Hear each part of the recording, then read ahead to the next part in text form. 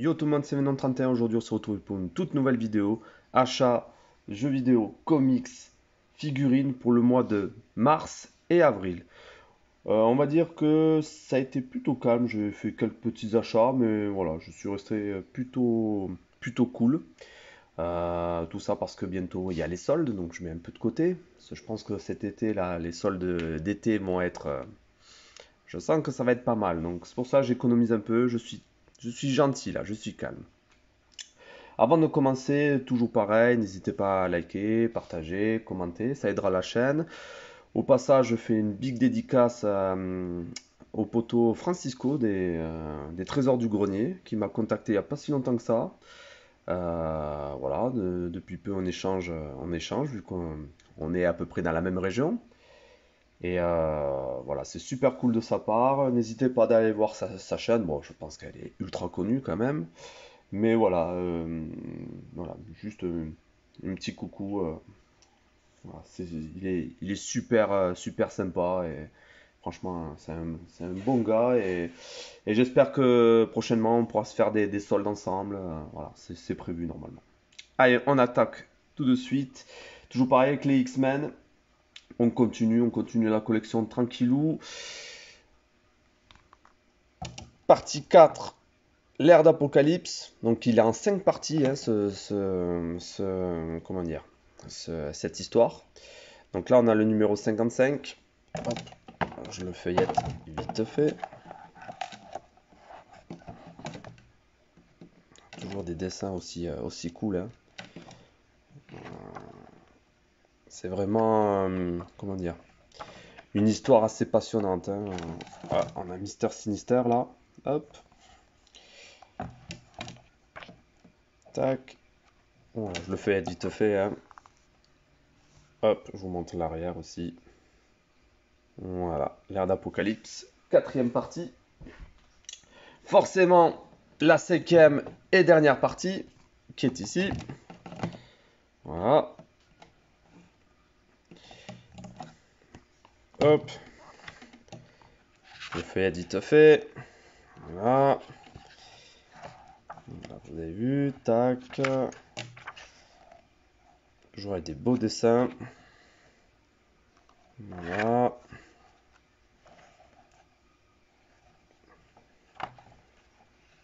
Tac. Hop. Voilà pour celui-ci. Ensuite, nous avons Foudre Cosmique. Donc là, on repart en arrière. Hein. Donc celui-là, c'est le numéro 4. Alors celui-là, je le surkiffe parce que je l'ai en, vieille BD. Un vieux, comics. Je dois l'avoir dans mes, dans mes Strange, là, dans mes vieux Strange. Et euh, ça, ça m'a rappelé des souvenirs. Euh, surtout ce passage-là. Alors attendez, voilà celui-là ici, là. Celui-ci, là. Voilà. Franchement, euh, un super comics celui-là. Voilà. toujours pareil, des beaux dessins. Voilà.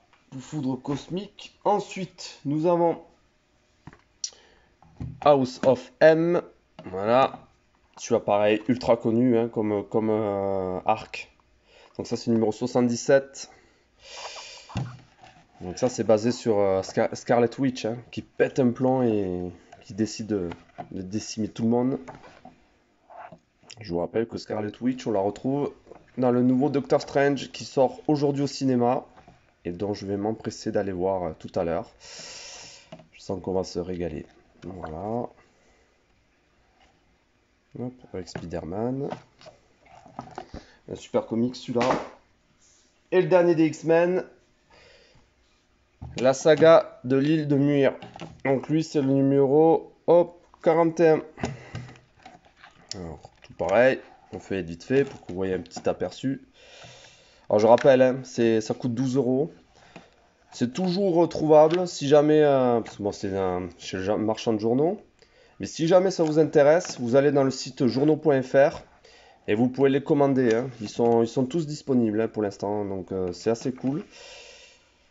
Euh, si jamais ça vous intéresse. C'est vrai que les X-Men, c'est quand même un univers euh, plutôt, euh, plutôt riche et, excellent.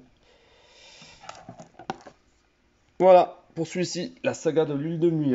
Ensuite, en comics, qu'est-ce que j'ai pris? Euh, Ça, c'était le mois dernier. Ils ont sorti une nouvelle collection. C'est les Spider-Man. C'est, en fait, il y a 10, euh, comics sur, Spider-Man, sur des arcs, on va dire, connus de l'homme araignée. Hop, je remets mieux. Parfait. Donc j'en ai pris 3. Après, je pense que je vais, tous me les prendre. Donc là, là, on a le numéro 10, le Spider-Verse. Spider-Verse qui est excellent. Voilà.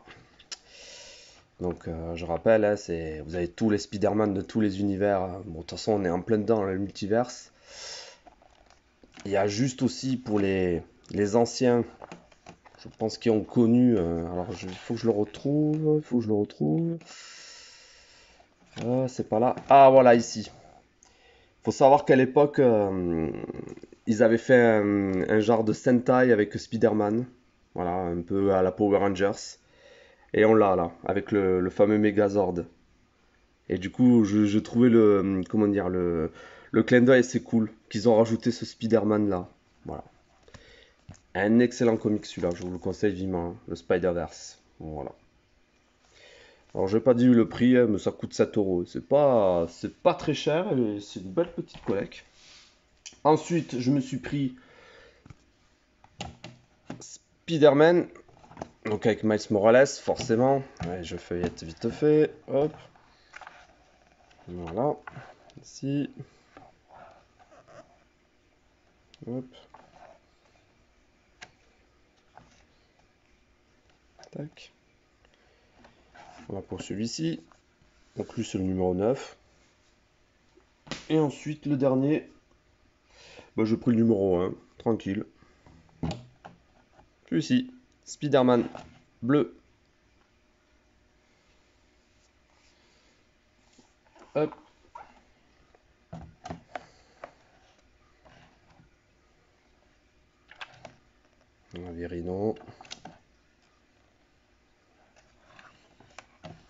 Virino.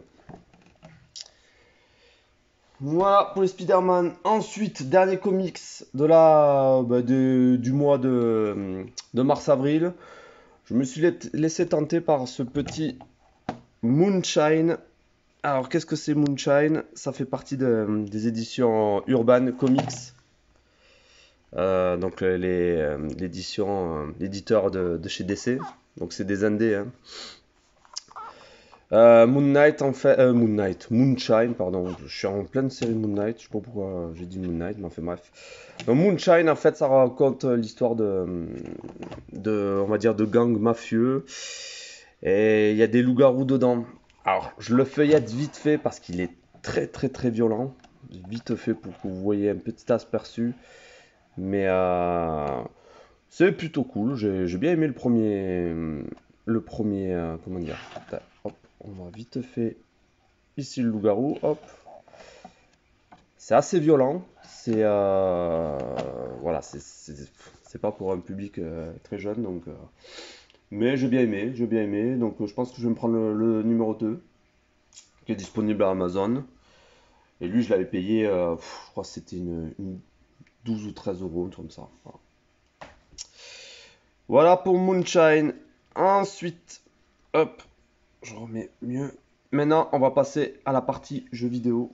Bon, jeux vidéo, comme je vous ai dit, je suis resté très, très, très, très, très sympa. On va commencer par un petit lot que j'ai pris sur Nintendo. Alors, c'est des jeux neufs sous blister. Je ne les ai pas encore déblistés. Je les ai payés. Ça m'est revenu, je crois, à 8 euros. Je pense que j'ai fait une super affaire hein, parce que c'est quand même. Bon, il y en a c'est un excellent jeu. Le deuxième, c'est une belle édition. Après, je sais pas ce que vaut le jeu. Mais bon, il s'agit de le premier, le B-Blade Metal Fusion. Hop. Voilà. Vous voyez mieux. Et le deuxième, le Mad World. Voilà. Alors, comme vous pouvez le constater, je sais pas si vous allez le voir. Voilà, ils sont encore sous blister. Hein. Donc là, on le voit. Voilà. Ils sont neuf sous blister. Là, on le voit bien, le liseré. Voilà. Pour Madward. Et voilà pour Beyblade. Bon, une édition limitée. Euh, vu le prix, je me suis dit, bon, euh, je vais pas Mais par contre, je sais que celui-là, c'est un excellent jeu, donc euh, voilà. Je pense que je fais une bonne petite affaire. Ensuite, on va enchaîner sur pareil, trois petits jeux PSP que j'ai trouvé bah, pareil sur Vinted. En ce moment, j'achète beaucoup sur Vinted. J'ai fait pas mal de bonnes affaires. Le premier, le Ace Combat X Sky of Deception. Voilà, complet. Hop, je regarde. Tac. Voilà, avec la notice. Bon, c'est du Ace Combat. Hein. J'ai testé. J'ai plutôt. Euh, il est pas mal. Sur, sur PSP, là, c'est assez cool. Voilà, un petit Ace Combat X. Ensuite, un autre jeu PSP que j'ai trouvé euh, sur Vinted. Euh, chose pareil, j'ai pas payé cher, je crois que je l'ai payé 5 euros. Euh, voilà, c'est Soul Calibur Broken Destiny. Voilà, un Soul Calibur sur PSP, pareil, complet en boîte. Ben voilà, déjà, comme vous pouvez le voir, hein, il y a Kratos comme, comme perso, on va dire, star, invité. J'ai fait quelques combats. Il est bien, mais c'est vrai que l'ergonomie de la console, euh, bon, pour les jeux de baston, c'est moyen, voilà. Mais c'est plutôt cool quand même d'avoir un Soul Calibur sous PSP, quoi. Surtout avec Kratos, euh, un invité. Dernier jeu, euh, celui-là je l'avais à l'époque, et je l'ai réussi à le retrouver en plus super état et complet, donc je suis super content. Il s'agit du Marvel Trending Card Game. Hop, voilà, je vous le montre. Euh, donc en français, complet, en boîte. Et pour qu'il soit complet, il faut qu'il y ait les cartes qui sont ici. Et encore, elles sont sous blister. Donc voilà, c'est super. Donc mon jeu est, absolument complet.